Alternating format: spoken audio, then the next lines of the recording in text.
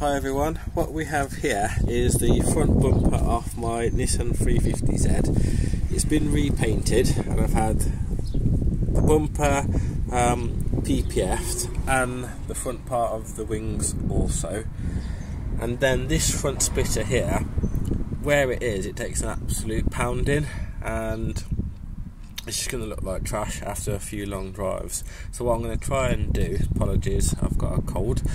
What I'm going to do is use an offcut of some SunTek PPF, um, clean this up, and then we'll try and get it on. I've only got one piece left, so I need to make it work. So I'll put you down and I'll show you what we do.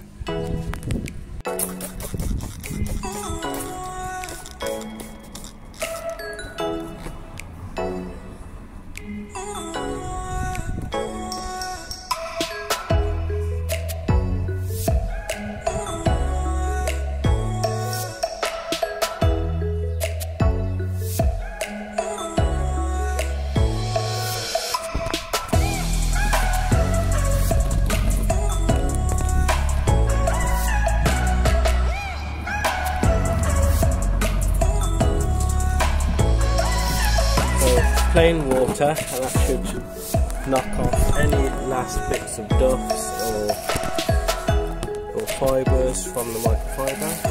So we've got two, tack and split.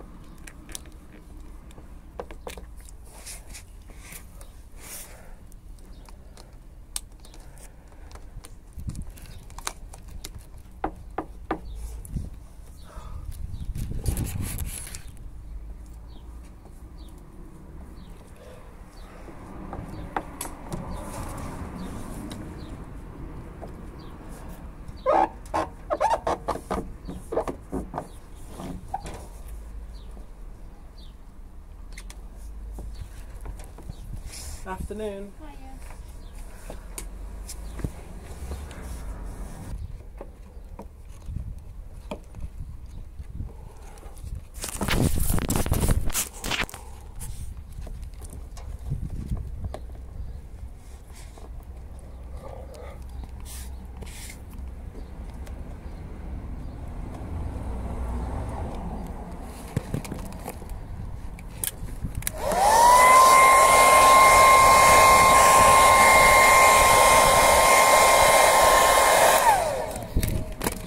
Cold, try and blow moisture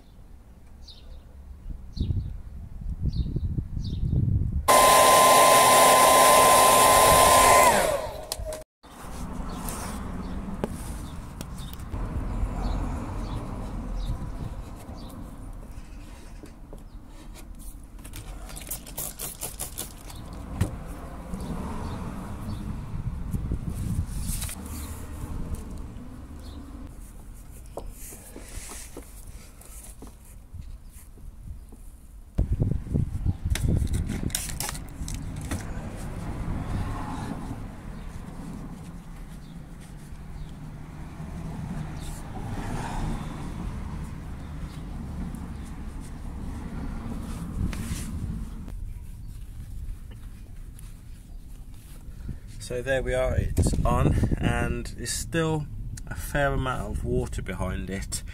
And I need to go around the edges just with a hairdryer just to sort of seal those off but working outdoors isn't ideal. But at least it's on and it's protected and as the sun comes round any scratches that you sort of that I've put in there from the squeegee and whatnot should come out in the sun. And after a couple of days because it, it, gets it looks better and better um, as it fully dries out but it feels really nice. And it's really thick stuff. This SunTek PPF sort of really thick so sort of nothing's getting through there quite easily.